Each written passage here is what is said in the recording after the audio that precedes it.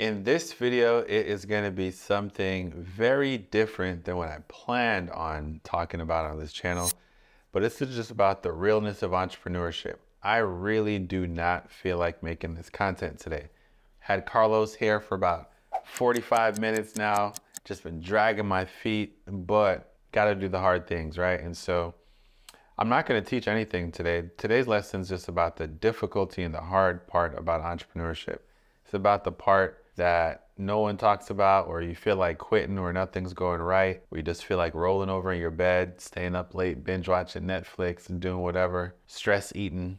This is about that. Every time we launched a course or launched something new, we always had these crazy health crises. So, like, I actually launched, let's say, the last four courses or updates I've done Two of them I've actually been, like, I actually filmed in the hospital. Wild. I've never shared that publicly, right? And so I remember I, was knocking out like a week's worth of content in the hospital to hit deadlines. And I launched it, and I remember someone was complaining about my audio. And I was like, if you only knew, if you only knew why the audio sounds like that, right? But I never shared it. I was just like, yeah, thanks for the feedback. This past month, random crazy family health scare happened again. We're actually in the hospital 21 of 27 days last month. It was wild. Just there, a whole bunch of family in town. Everyone's kind of supporting. And um, I had to take three weeks off unexpectedly. The business didn't do great, didn't suck, didn't do great. We had a lot of great plans, didn't go as planned at all. But it was interesting. A couple of good things happened in there. One, it made you realize what you thought was important that never really was to begin with, and what's always been important that you've been neglecting. It was a good priority shift, and it gave us the perspective of what actually is important in what we're doing. And then in that moment, I have a friend, G. Bryant. He's a big fitness and kind of health influencer, and he went through a big come to Jesus moment where he just felt God told him to like sell all his possessions, just kind of get off the grid and just realign with what was really important. And I felt like that was what was happening with me. You know, I'm a person of faith, or you may not know, but I am. And my mom gave me this really cool analogy during this time, and it was like the difference between being a store manager and a store owner, right? Picture a franchise. She was saying I was operating so much like a store owner. Like, I gotta come up with all the strategy, figure everything out, run everything, manage the people, etc. But she was like, what would life look like if I allowed myself to be a store manager and had like, you know, more faith in God to provide direction and steps? And so what that would look like is managing the team, managing the budgets, managing the people, executing. I have leadership ability, but I realize I'm not doing it all by myself. That there is a higher being that's controlling the shots, ship creating this strategy, worrying about all the really difficult stuff, and I'm just showing up and executing on what I'm being told. And I never really thought about it like that, right? Mom's was dropping some good gems. And I realized that how I always wanted to be in control of stuff, which serves its purpose well as an entrepreneur, problem solving, all these things are good, being self determined and a self starter.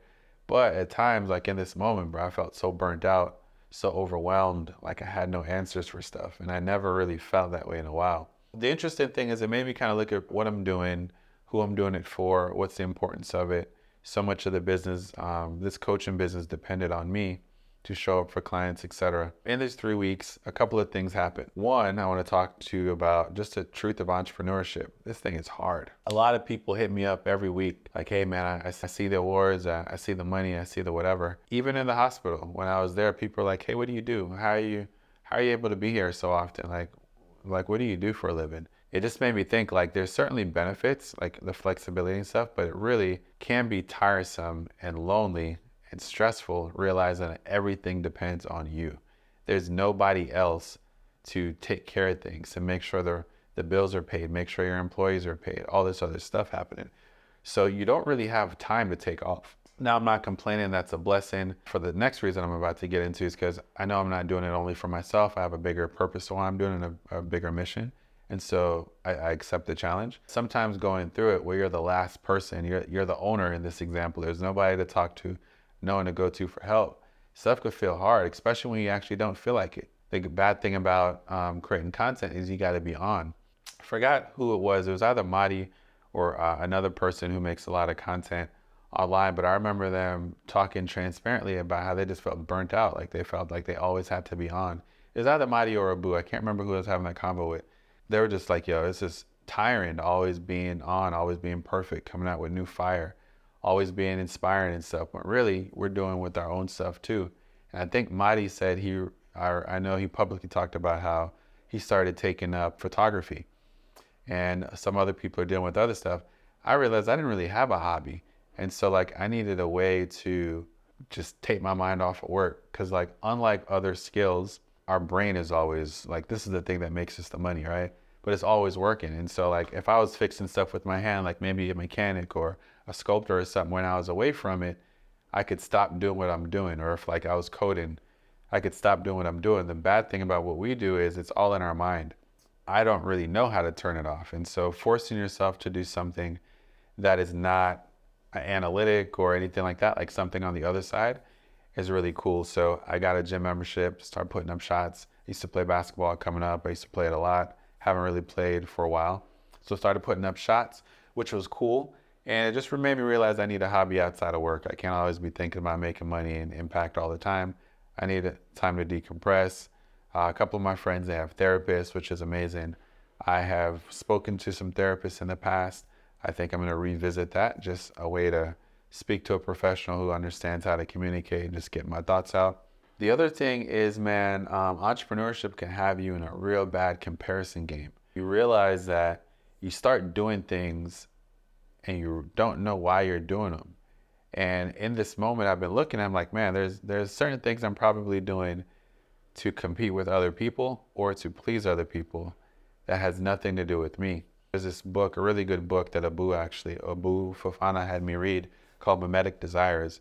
And it's really dope and it talks about this concept and it's about how so much of what we're doing subconsciously is really to please or to compete with other people, whether or not we're actually admitting to it. And so they gave a couple of examples of how everyone's buying an electric vehicle, right? All your friends. So you start getting a Tesla, you start doing stuff like that. You may be like, you know what?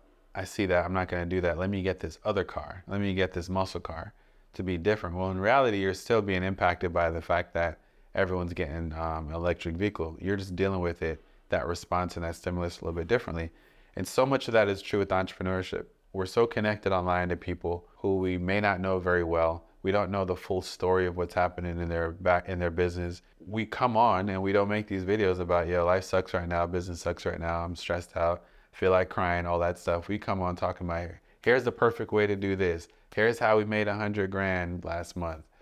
And what may be true, but you don't know what people had to go through to get there, or how much of that's profit, or what they sacrificed and lost to get there. I remember speaking with someone a while back, this guy I looked up to, and um, he was very successful. I think he made like half a million dollars a year, was in all the clubs, winning all these awards. I was talking to him about life, and I just asked him a, a real basic question like, what advice do you have for me that I wouldn't know to ask you, right? Like, what questions should I be asking you that I'm not? And he said, Man, my life sucks right now. I would love to be back where you are. Two divorces in, haven't spoken to my kids in forever. I'm always busy. Times I find myself just crying when they're like, Where did I go off the wrong path? And it was so wild to me because I, I didn't admit it. And he was like, You know, everything is hard and he's making the best of the cards he was dealt.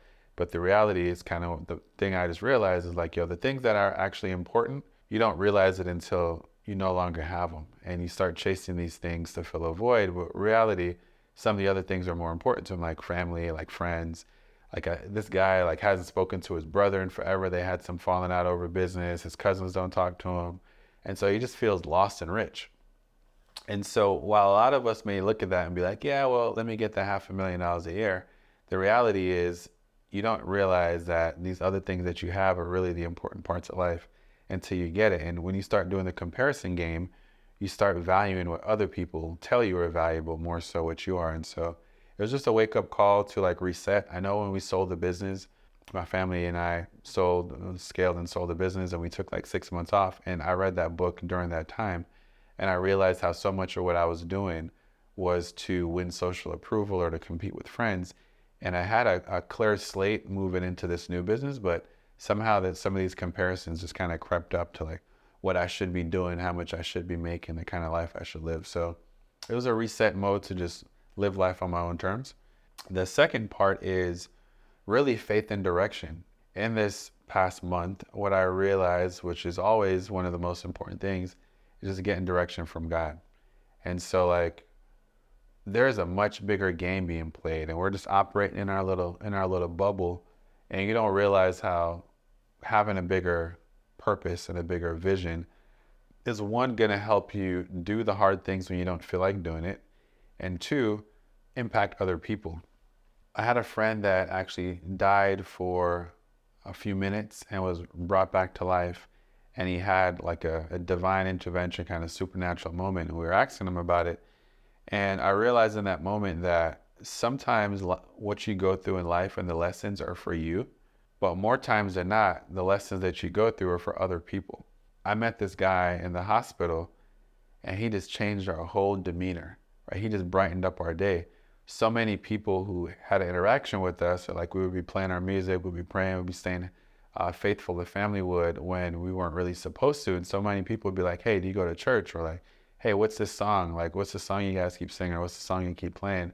And it's just to know, like, man, this whole thing could be happening just so other people could see, like, how we're handling the situation, how we're still positive, how we're still helpful how we eventually got that breakthrough, right? And things are on the up and up now for the family. But even when things were looking bad, how we're still coming through optimistic, coming through happy, coming through smiling, asking other people how their day was, asking other people to make sure they, they have a great day, all that kind of stuff. And so, like, how you show up for people in small interactions is a big way of um, your purpose. But in that moment, I realized that my whole purpose is to I'm in the philanthropy business, right? Our family's in the philanthropy business. What do I mean by that? It is creating money and helping other good people have access to capital and learn how to grow business, provide for their family, provide for their community, so that we could be a blessing to someone else. It's not it's not in the business that's making money to just like buy fancy things, Rolexes and fast cars. Although there's nothing wrong with that, it's really in the business of putting other people on so we could hire, we could bring team members in, right? We could we could give, we could donate to charity, we could give to a church, we could give to a cause. Having a purpose that's bigger than you is a big part of what's keeping me to go through some of these tough moments. I mentioned earlier that I was making courses in the hospital, recording the modules. I didn't have to do that. I could have easily said, yo, F this course. Like, I'm, I want to be here for the family member. But I realized other people were dependent on it. And that one course has gone on to make so many millionaires, actually. Um, I was having lunch with one of my friends who I helped, uh, helped learn how to run ads when he was a, a beginner, and he went from like eight thousand dollars. He just told me last year he did 1.4 million dollars. He's been doing hundred thousand dollars a month for the past like three years, and he's had like a two hundred and something thousand dollar a month, all because I was obedient to make that course module when I was going through adversity. And so there's countless other people. Last year we helped someone make an additional nine hundred thousand dollars. We helped a bunch of people make about $33 million last year in Shopify, all because I'm obedient. I want to challenge you guys to just think like, yo, am I only doing this for money? Because if so, that's going to be very short lived. You're going to keep jumping from idea to idea, and it's not going to be that motivating once you start realizing that money is not the most important thing in your life. So figure out like who is it your story is for. Like I'm making this video not for me because like someone may need this, right? Someone may be going through the same thing and may think that I got everything all figured out and that I show up feeling like working every day. Well, I don't. And so thinking about uh, what God has put in your heart to go out and do for the world and for other people, and who you think that um, you were sent here and like your purpose in life, what you're here for and to do, understanding that is really important. And the last thing is really just serving people. It's a subtle mindset shift from yo i'm going to make this ecom course i'm going to help people start business to i just want to be here to serve these people. I want to be here to serve family oriented people who want to go out and provide for their families and want to leave the world better than they found it who want you know we work with a lot of immigrants people who come from third world countries who like my parents and my grandparents came to this country with not a lot we work with single mothers. We work with people who are juggling multiple jobs to provide and send their kids to good schools. Like the people we're working with matter, and the things that we're helping them do is going to not only make their kids and their families better, but all their customers too. And so, thinking about, you know, this is hard, but I am blessed that I get to serve other people and I get to show up and help and add value. Helps me get through these difficult times where I don't feel like doing anything because it's not really about me anymore. It's like, this is an honor that I have an audience of a couple hundred people, a thousand people, 20,000 people who have taken the time to subscribe to my channel, follow me on social, join my newsletter so that I have the opportunity to like add value to their lives. It's really a blessing. And it's the best job in the world being able to impact people. Uh, but at times it's hard. And that's what this video is about. So what I'm doing through this moment is just giving myself a grace and I'm hella transparent with my team. I was like, hey, this is what's going on. I don't feel like doing anything.